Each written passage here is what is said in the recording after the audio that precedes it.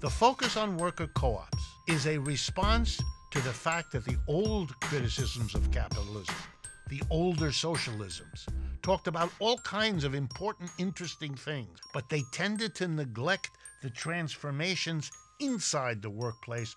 That's why we focus on it, but it's an addition to the issues of the larger society, not a substitute. I would argue that the new society has to have instruments, ways, organizations that allow citizens in the surrounding community and the customers also to participate with the workers in making the decisions. The guarantee of a job and income so that people are freer.